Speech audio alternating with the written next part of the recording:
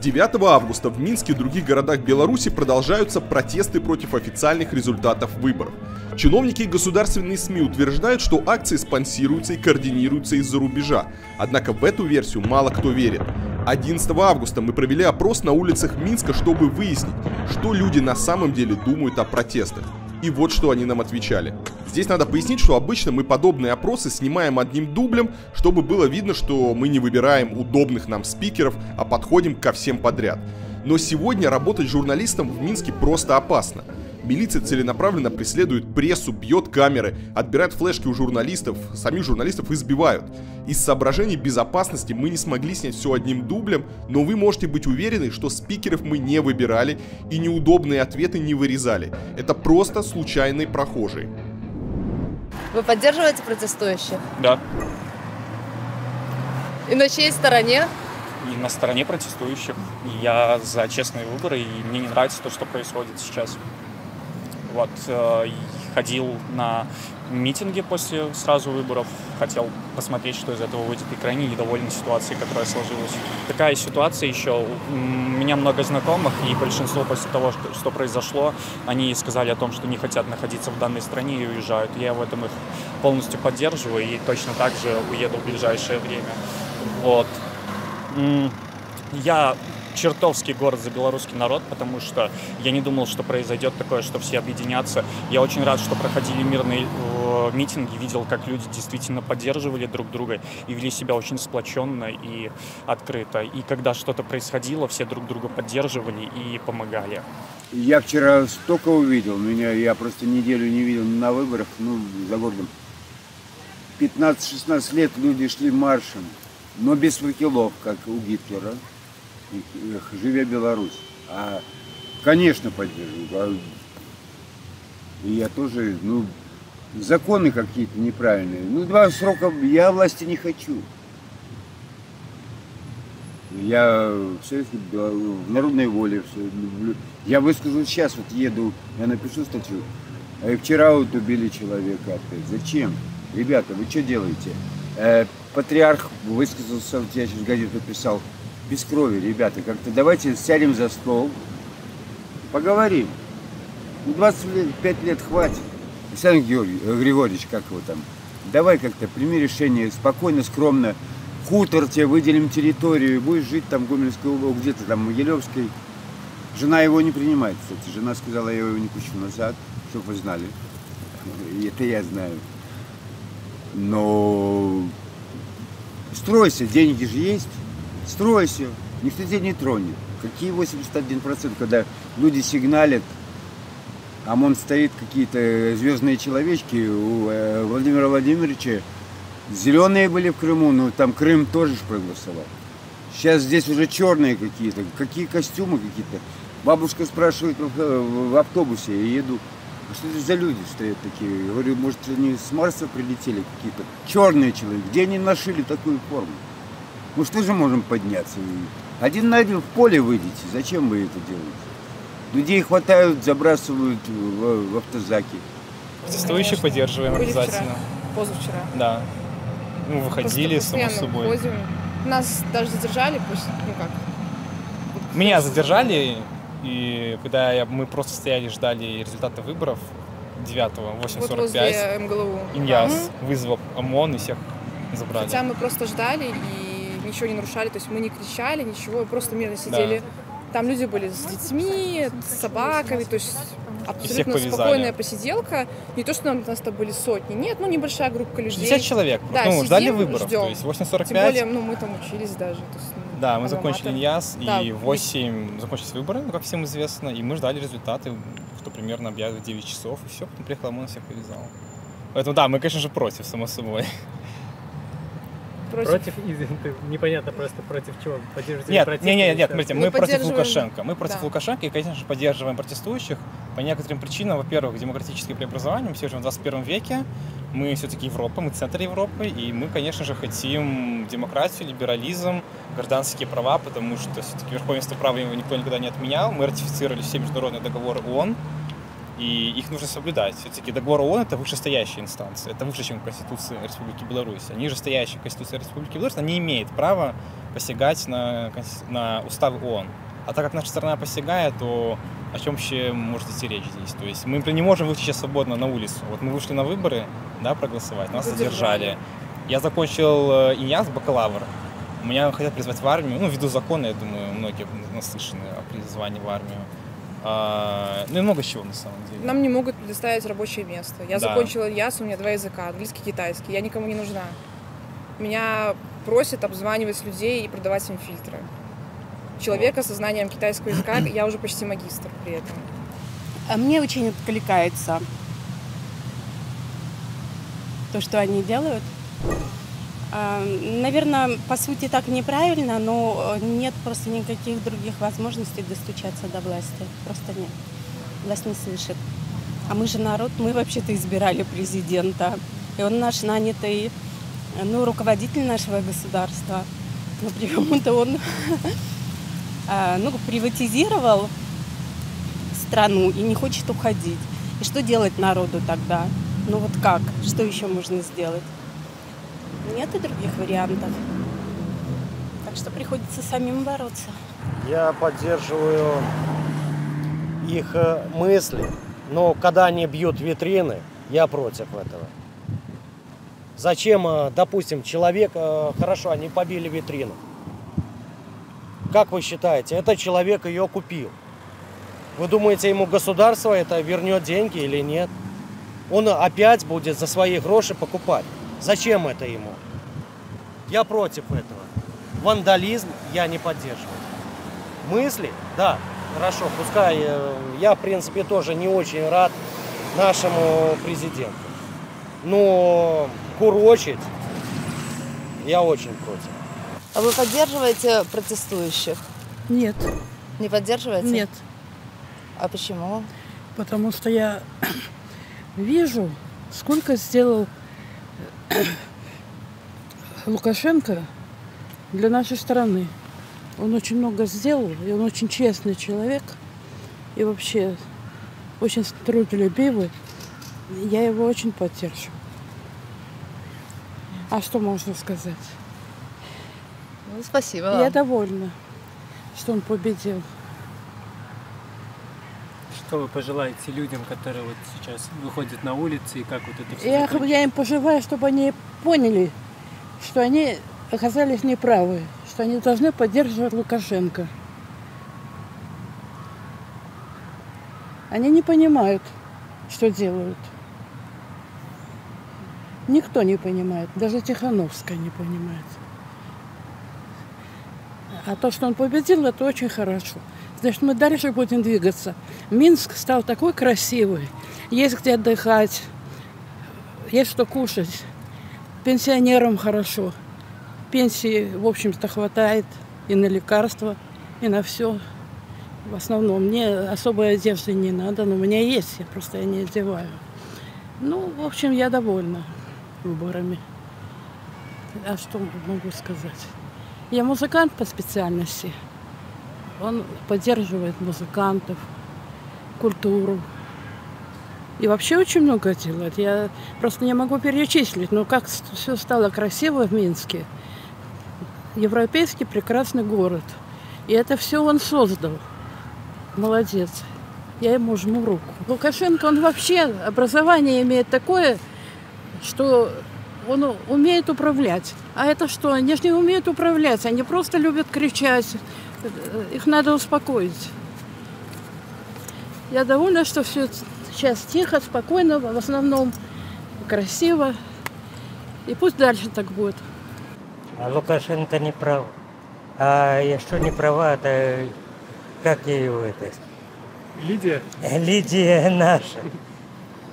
Я ее это не люблю. Я когда-то это было еще, когда это Лукашенко у президента избирался, когда он набрал 96%, да? Возил это вице-премьера Кеник Ивана Альбиновича. Так Витебская область 4% набрала, а он получил 96%. И потом сам сказал, ой, что-то вы мне много записали. Сам был, протестовал. Не то, что протестовал, а просто со всеми людьми, как и положено. Наш народ должен это, как вам сказать, просто нас это не надо это овцами называть. Как он э, вчера, Лукашенко, высказался. Пускай Лукашенко это сам вспомнит, как ему оторвали э, пиджак во Дворце Республики, когда он избирался в президенты. Он молчит про это. А люди знают. Конечно, поддерживаю. И? Ну, вообще, в целом, что вы думаете о протестах, о, о всей этой ситуации сложившейся? Победе Лукашенко? Нехорошая ситуация. называемой? Победа однозначно. Не у Лукашенко ситуация совсем нехорошая. И то, что он обещал не держаться синими руками за власть. Все против. Вот и все, чем закончится, это, конечно, мрачно. Это лучше видно там наверху, чем это может закончиться, чем нам снизу. Нам надо работать, кормить семьи, а не воевать друг с другом. И всем привет, которые в форме и в касках. И вот напротив сравнить штаб военных и детский сад. Это сравнение всей нашей страны. Ну, я вообще-то вроде как от- отношусь э, нейтрально ко всему, но очень плохо то, что даже люди, если высказывают свое мнение, нельзя людей избивать. Нельзя их, э, кто бы ни был, молодежь, возрасте люди или кто-то еще. Они высказывают свое мнение. Если они не- зачем их избивать, зачем? Вот у меня сейчас дочь звонила, говорит, я, я- вчера вроде мальчика убили, я слышала. Но это вообще никуда не годится. У нас вот у подъезда вчера мальчик сидел, мы ему фактически жизнь спасли. Дубинкой рассекли голову. Ну как это так? Ну и люди тоже все смотрят, ну все, знаете, всем же интересно. Мы его затащили к себе, все меры, как говорится, приняли, вызвали скорую помощь, он отвезли в больницу, положили швы. Поэтому здесь каждый человек может высказывать свое мнение, и э, если это мнение не, не обязательно идет с какой-то глоба- главной линии, то я считаю, что э, не стоит людей, пусть высказываются, но людей трогать, избивать нельзя. Нельзя им рот закрывать. Я не хочу связываться. Возраст не тот. Мне 81 год. Я еще буду... Я просто не пошел голосовать и все. Спасибо. Потому что бесполезно. С этим нашим, извините, все время будет. Никак он себя не даст в обиду. Поддерживаю. Как глубже, чуть-чуть больше. Надеюсь, что их, так сказать, труд не зря. Вы поддерживаете протестующих? Да. А подробнее чуть-чуть? это- Да не, уже не надо такого. Э, Вы знаете, я вообще-то за то, чтобы у нас э, была правильная социальная защита. Понимаете? Потому что очень много людей страдает из-за того, что просто нет такого правильного отношения к людям, которые нуждаются. Одним словом, на вооружение есть, а людям, чтобы поднять, идет вымирание. Вот и все. А протестующие, ну, в смысле, вы на стороне протестующих или на стороне государства в этом конфликте? Вы знаете, в общем-то, сказать честно, я на стороне протестующих, потому что не, мы не так живем, не на таком уровне, как где-то правильно живут. Вот э, такие вот, э, такая ситуация в нашей положении жизни. Поддерживаю. Поддерживаю. Что вы вообще думаете о всем о протесте, о средствах и о всем остальном? Оправдывают ли средства, цели средства, которые применяются? Со стороны протестующих пока что особых средств нету. Но только что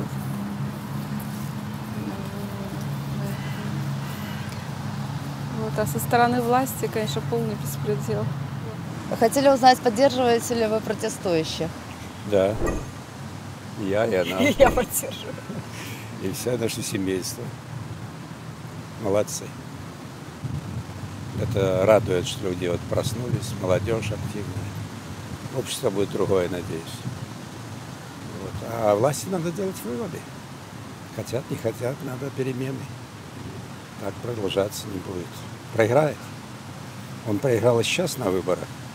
Естественно, это результат фальшивый, скажем так. Поэтому будем надеяться на лучшее.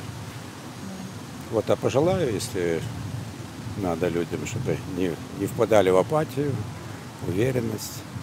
Поэтому вот этот верим, можем, переможем, да правильно.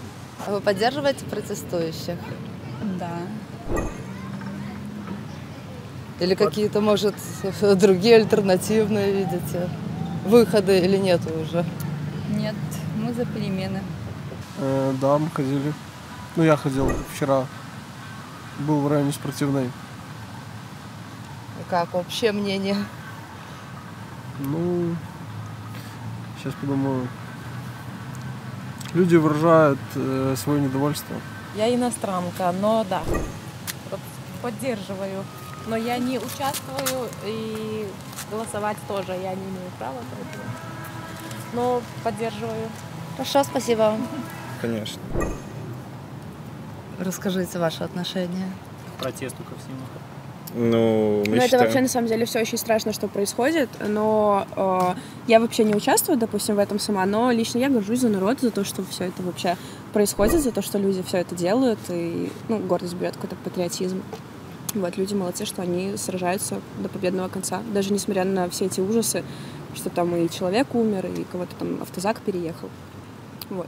Ну, люди ждать просто устали уже. Люди терпеть не могут. Люди выходят. Ну, гордость берется людей. Да, поддерживаю. Расскажите о вашем отношении ко всему. А, а вы кто вообще, представьтесь? Канал Ильи Варламова, YouTube. А, Варламова? Да, смотрим.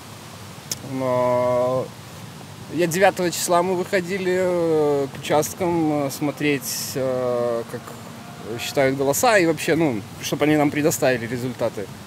Там у нас под прикрытием ОМОНа результаты не показали.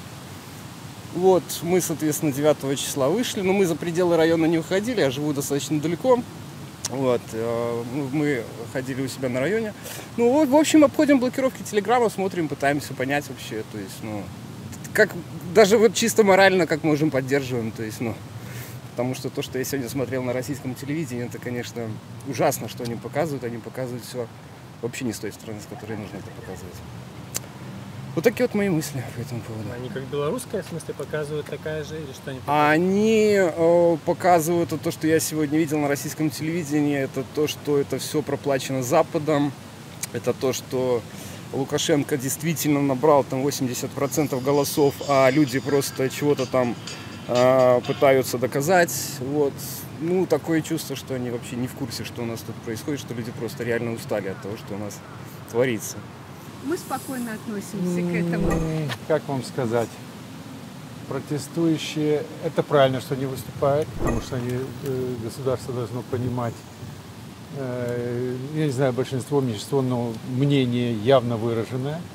Вот. Но это должно чем-то финализироваться, то есть чем-то закончиться должно. Э, Протестующие не победят. А в страну это вернет в большие потери. Борьба возможна, но, наверное, надо переходить на другие формы. На какие, например? Ну, в процессе, в процессе мирного существования, там, партии создавать, развиваться, вот в таком плане, как, как везде в мире. Такого, ну, где в мире только уличными боями забирают власть. Такого нет. Надо, чтобы общество добивалось такой больше демократизации внутри страны. Вот этот путь. Потому что сегодня вряд ли они пере- переломят силу оружия. А плохо отношусь к протестующим. По-моему, эти люди, которые зомбированы средствами ма- информации интернетовской, и они как бы тоже своего рода люди, зависимые от информации в интернете и действуют в зависимости от этого.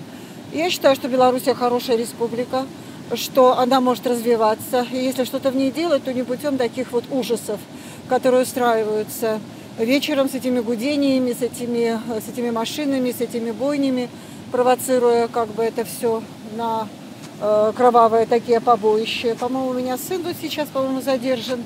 И, наверное, его где-то там, ну, сказали друзья, что, скорее всего, что э, он задержан. Он не пришел ночевать, а вчера пошел как бы, ну, правду искать, я называю.